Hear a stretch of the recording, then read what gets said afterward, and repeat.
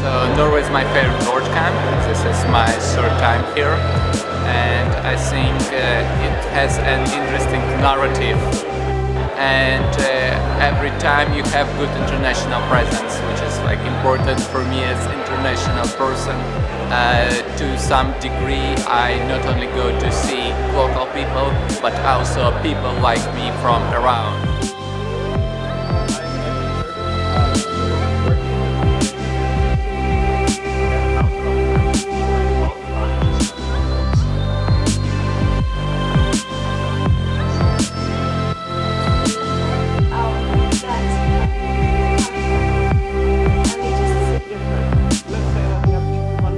this one is very, very interesting to me. Uh, it's a small one in the sense of number of people, but very intense in, in the sense of the community. And uh, it's a very nice feeling.